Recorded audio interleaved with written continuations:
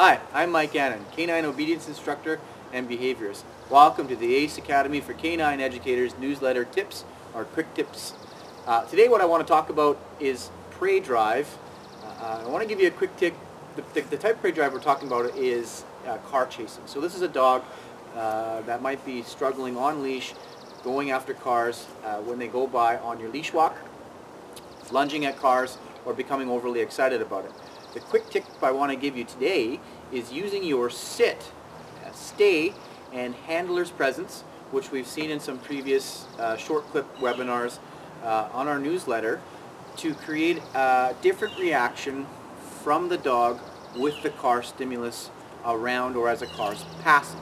So if we simulate my dog being on leash, uh, walking, and a car's coming, uh, typically what you'll see is a dog becoming alert, uh, aware, and uh, looking towards the vehicle. So what we want to do is we want to make sure that our dog is paying attention to us. So there's a couple of tools that we can use. This will also help create a dog having a different association with the vehicle passing. So what I can do is something called a little bit of counter conditioning, and this is what we're going to talk about in this clip today. This means when my dog sees a car and I call my dog's name, they can understand this means I sit and get a reward instead of going after the car. This takes a lot of work and a lot of practice, but it can be quite effective. So the tool we're going to use today is a little bit of a liver treat, and we're going to pretend that uh, this dog's going after a car. I'm going to use the sit stay and get my dog focused on me, and I'm going to show you how this would work as a car passes uh, uh, your dog, okay? So I'm to walking down the street. My dog might see a car coming. I'm going to get their attention. Mosaic, sit. Watch here. Good. Stay. Now as the car's passing, the trick is I want to hold the stimulus if I can get them interested in it, just like this in my hand. So we can imagine a car's passing. I still have the reward or scent reward in my hand. The stimulus is going by, which is a car. Once the dog has accomplished that, I can release it. Good. Stay. Good boy.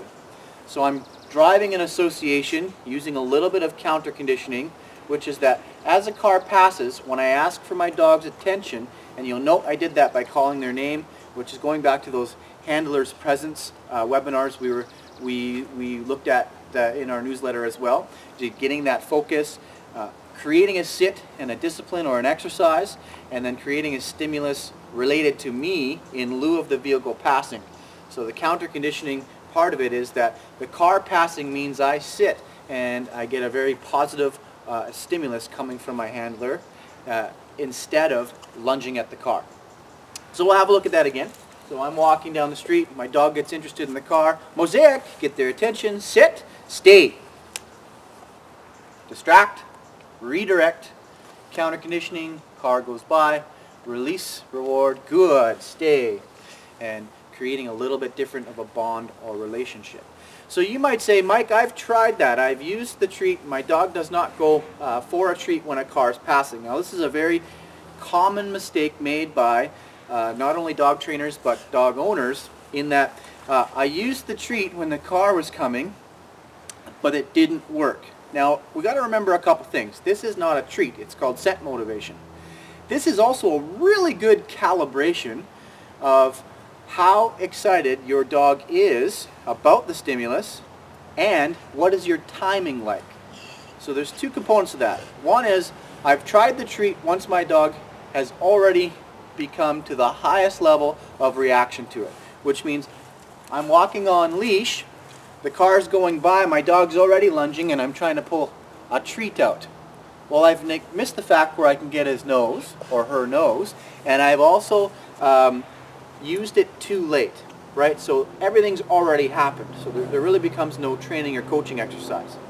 The second component is, if the dog's not responding, you need to design, as a practice, a different distance, a greater distance.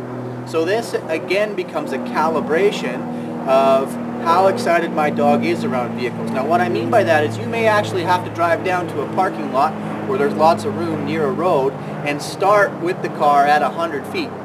So practicing this at about 100 feet Same thing though, Mosaic, sit, getting their attention, 100 feet away, the car's going by. I know that this uh, scent is working at about 100 feet and I can create some of these positive experiences and still working on that counter conditioning. Then what I want to do is slowly close that distance. So eventually I can get myself 20, 10, or 5 feet from the car uh, or getting to that area where I'm on a sidewalk as the cars pass by and I can use this redirection uh, counter conditioning technique. So the scent motivation typically will work. Sometimes you've got to change it up. Maybe it's a hot dog, little piece of cheese, something your dog's not accustomed to. The second part is uh, creating the behavior before the stimulus passes. And the third component is use this as a calibration. You might have to create uh, more distance in order to accomplish this same task and then slowly close the gap as you get closer, uh, building all of those positive rewards um, and, and experiences between you and your dog using this training exercise. All right guys, get out there and practice these tips. Thank you so much. Look forward to seeing you in the next webinar.